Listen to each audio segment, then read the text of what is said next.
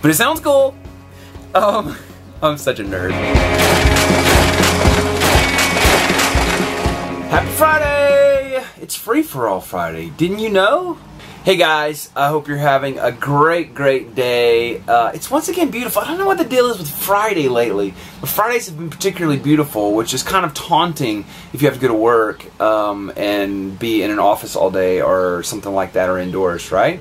Um, so I'm sitting actually in my office and I open the window and the breeze is so nice. There's a porch outside. Um, it's really nice. It, it, I don't really want to sit at the computer and do work, but I will because I'm a good employee, right? so today, guys, it's Free for All Friday, which means that we can talk about whatever we want to talk about, right? Um, we had a great week. Uh, Wednesday was so fun with the rowing and everything, and you guys were so fun uh, commenting and everything like that. And I hope you're going to try a new workout, maybe this weekend. Maybe it's even just going outside or trying a new park or a hike or a walk or something like that. Um, but today, I wanted to talk about something uh, that I think can help you in your journey, no matter where you are, if you're trying to lose weight or just uh, live a healthy life, or really any area of your life. And you know, you're going to hear me say that. I mean, yeah, you've heard me say it a million times. You're going to hear me say it over and over again. All of this stuff is all connected. It's not just about losing weight. It's not just about uh, living a healthy lifestyle. It's about being healthy and living life to the full. And it influences your relationships. It influences your job. It influences your school. It influences, uh, you know, everything that you can imagine. Everything you can imagine. All of these things that we talk about are applicable to everything in life, right? So today I want to talk about something um, that I love very much and that I actually wish I was better at it, but I've done okay, which is journaling, writing down uh, what you're going through in life, right? Um, so, like, I'm a big collector of journals. I like the Moleskine, Moleskin, I don't even know how you say it, but either way is fine, apparently. Um, I it, I always go look at the journal section when you go into like the bookstore or, or stores that have journals. Um, uh, I usually have a bunch that I'm ready to start. and usually they go pretty well for a while and there's a big gap and then you come back to it and blah blah blah. I'm sure lots of people can relate to that. But then there's probably some of you guys that are just like faithful as it can be. And you maybe started when you were young and you have every day up until that point. If you're that person, get a star today. But I do want to talk about particularly in my weight loss journey that that it was particularly powerful.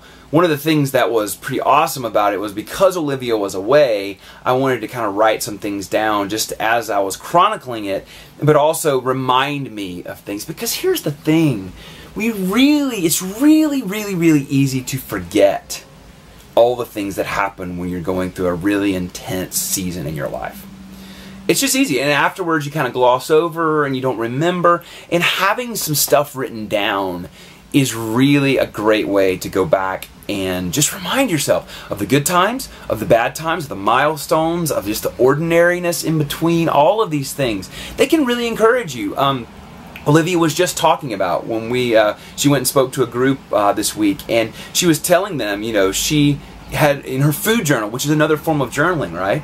She went back and she was really trying to to really just go back to the basics. And so she went back to a week she did really well on the ranch and she ate exactly what she did. But what was awesome about that, she had written down exactly everything. So she ate exactly the same things. How cool is that?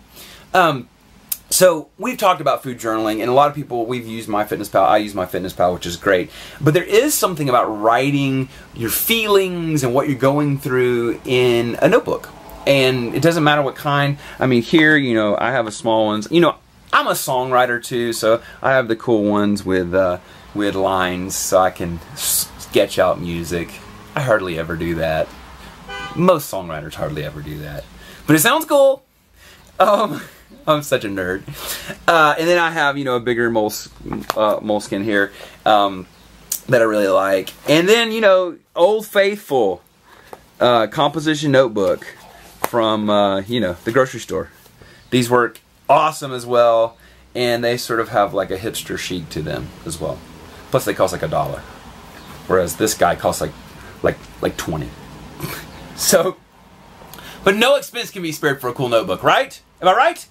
Uh, so I just wanted to read you a couple things that I found as I was going through these these right here. Uh, in this one right here, I started it. I was writing in it right before. This was August before Olivia went to the ranch, like October first.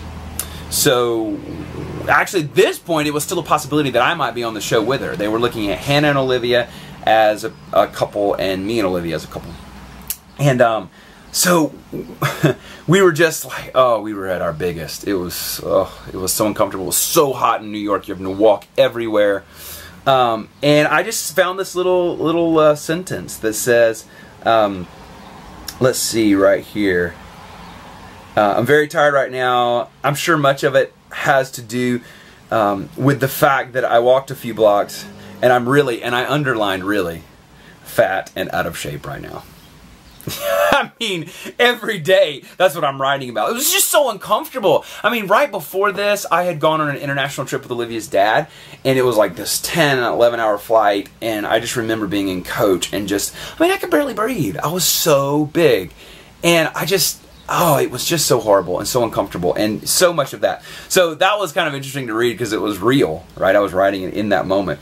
And then I kind of just looked up, man, my journal from when Olivia was gone is packed because I had a lot more time on my hands, right? Um, but, you know, right here, let's see. This was, um, let's see. Yeah, there it is. 25 days till I see her. That's when she was coming home for, uh, for Christmas, which was the first time I was seeing her in like three months. You probably saw that. It was on TV the first time I saw her. You guys saw it if you watched the show. Uh, and um, maybe before, I didn't know exactly. But 53 pounds as of today. 53 pounds. And so, what a great milestone. I can look back at that and go, oh my gosh. I mean, I was already feeling so much better. I was about halfway to where I needed to go. Um, it was just awesome. It was just awesome. And this is a milestone. This is something I have for the rest of my life as long as I don't lose it. Um, and I hope not to. This is really important. Um, so, you know, I just want to encourage you. I, I, think it's great. I mean, you can do it any way you want. Um, you know, if you like to type on the computer, that's great. I, I have, I use Evernote, which is a great thing that I keep a lot of stuff in, especially song ideas and stuff. But as far as writing a journal, this is just the, I think it's the best way. I just do. I think it's better to write like that, and it's just really good. Um, you know, we talked about that prayer app last week. Even writing your prayers, you know, I'll flow in and out of like praying and just journaling and stuff like that. And then, like I said, I'm a songwriter, so I'm always writing lyrics and have lyric ideas. And I even go back through my journals to get song ideas, and I'll star things that I think are, I'm like, ooh, that was good.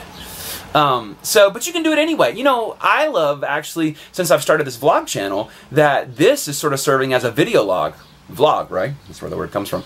And uh, so it's really cool for me to experience that as well.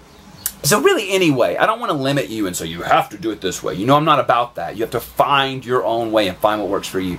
But there is something really powerful about writing things down so that you can go back to it and and measure. I know Olivia has this from the ranch, and uh, I think it's so so precious to her to be able to look back at that experience because you just it's like a whirlwind. You don't forget sometimes, especially when it's a season of much change, which you can go back later and go, wow, unbelievable, and you get reinvigorated, re-inspired, and remotivated. So I want to challenge you to do that. Okay? If you're a journaler, in the comments below, tell me uh, the one thing you love about it and what's helped you keep doing it and what's the one thing you love about it. If you're not and it's something you like to do, um, tell me if you're going to go buy a cool notebook. Cool notebooks help at all, right? Once again, nerd. Um, but most of all, I hope you guys have a great weekend. I hope you go do some cool workouts. I hope you have great time with your friends and family. Give this video a thumbs up if you like it. Share it, favorite it. Come see me on Facebook and Twitter and Instagram. And we will see you Monday for Motivation Monday. Bye, guys.